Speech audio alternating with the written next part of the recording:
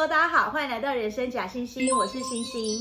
最近呢，因为哈利王子和梅根的脱离，让英国王室再度成为全世界瞩目的焦点。今天我们就一起来聊聊现今的英国女王。她是英国史上在位最久的君主，统治英国已经足足有六十九年之久。高龄九十四岁的英国女王伊丽莎白二世。伊丽莎白二世出生于一九二六年，她的全名是伊丽莎白亚历山卓玛丽。他和我们之前提过的伊丽莎白一世女王一样，实际上要轮到她继承王位几乎是不可能的事，因为她的父亲阿尔伯特是当时的国王乔治五世的第二个儿子，上面有一个哥哥大卫。再加上阿尔伯特本身有严重的口疾，个性又内向，大卫呢外表英挺，备受人民欢迎，俨然就是未来的王室之光。所以阿尔伯特从小并未受到王室继承的培训。据说当时阿尔伯特在追求伊丽莎白母亲的时候，便因为个性太无趣，再加上伊丽莎白的母亲担心嫁入了王室便不能自在的生活，拒绝了他两次的求婚。不过在阿尔伯特再三保证他并无继承王位的可能之下，伊丽莎白的母亲才答应了求婚。在结婚的初期，两人也确实过了一段简单而平凡的日子。接连生下了伊丽莎白、玛格丽特两位公主。两位公主呢，并没有到学校去上课，是由家庭教师到家里来授课。而且因为这一家人并不是王室的核心要员，比较自由，他们就经常到乡间去居住。伊丽莎白从小就和小狗和马匹一起长大，养狗和骑马便成为了女王一生的爱好。但平凡的日子过没多久，便发生了一件彻彻底底改变这一家人命运的大事。一九三六年的一月，伊丽莎白的祖父国王乔治五世过世，他的长子大卫随即即位为国王爱德华八世。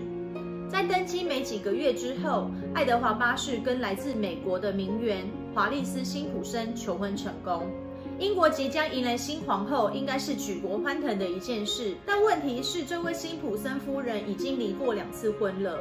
我们都知道，英国的君主就是英国国教的最高领袖。英国国教的教义是不允许离婚者在前任配偶还在世时就再婚。所以，即便国王爱德华八世尝试和英国政府协调，婚后他不会封辛普森夫人为王后，他们俩所生下的小孩也不能继承王位。但是，英国的议会以及首相还是强烈的反对。最终，在位不满一年的爱德华八世选择了退位，因为没有子嗣，他的王位只能由他的弟弟，也就是伊丽莎白的父亲所继承。这位从小讲话结巴、不受重视的次子阿尔伯特，被迫于同年登基为乔治六世。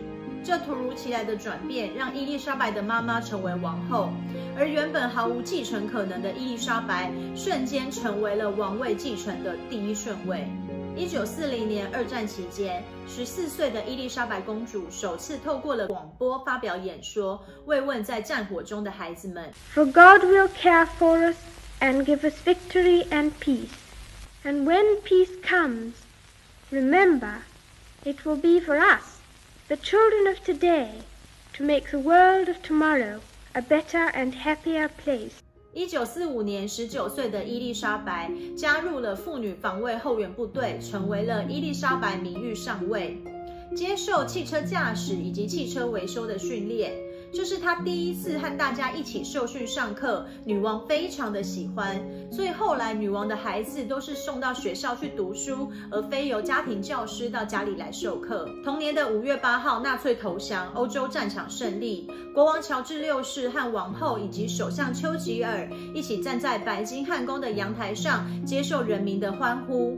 此时的乔治六世已经治好了他的口疾，在战争期间，他发表稳定人心的演说。也获得英国民众的支持，而且经过了战争，他们一家人的关系更加紧密。这是乔治六世在被告知要继承王位之后最快乐的一段时光了。一九四六年，伊丽莎白公主告知她的父母亲，她接受了希腊菲利普王子的求婚。菲利普生于一九二一年，他的父亲安德烈是希腊国王乔治一世的第四个儿子。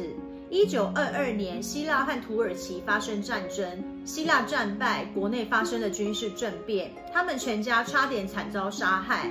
还好菲利普的母亲是英国女王维多利亚的外曾孙女。靠着母亲的显赫家世，十八个月大的菲利普被塞进了装橘子的木箱，逃离了希腊。从此，他辗转流亡于欧洲各国。后来到了英国，投靠他的外祖父蒙巴顿家族。一九三九年，国王乔治六世全家人一起到了英国皇家海军学院参访。在这里，十三岁的伊丽莎白第一次遇到了在此校读书的十八岁菲利普王子。伊丽莎白对这位外表高大英挺的王子一见钟情，两个人都还是维多利亚女王的玄孙，算是远房亲戚。在书信往来多年之后，二十五岁的菲利普王子和二十岁的伊丽莎白公主正式求婚。一开始，伊丽莎白的父亲国王乔治六世是不赞同这一门婚事的。第一，他觉得女儿的年纪实在还太小；第二，菲利普的四个姐姐都嫁给了德国人。而且其中的三个姐夫还加入了纳粹，这让当时刚经历过二战的英国人是非常不能接受的。最后一点，菲利普拥有希腊王室的继承权，虽然以他的继承顺位是很难继承到王位的，但是英国可不能冒这个险。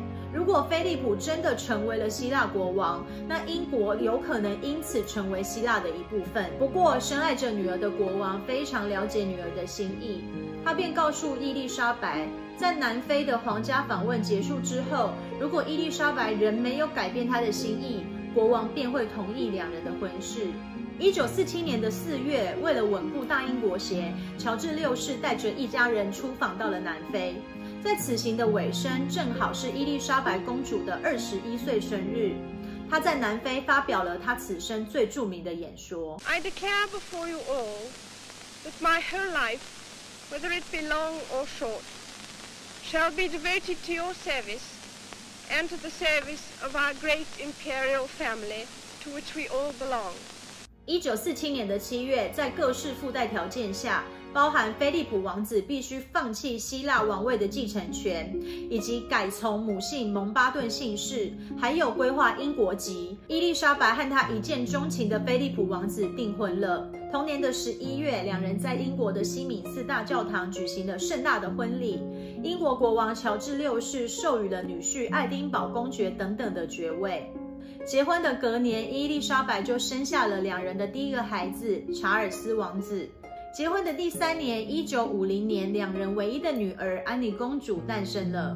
但从一九五一年开始，国王乔治六世便因为常年大量的吸烟，再加上被迫继承王位的压力等等，身体状况急转直下。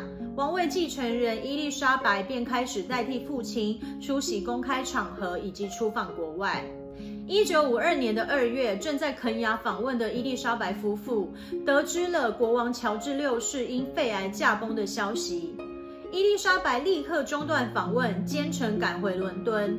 出发的时候，她是伊丽莎白公主；再次回到英国的国土，她已经成为了伊丽莎白女王了。一九五三年六月二号，二十七岁的伊丽莎白登基为伊丽莎白二世。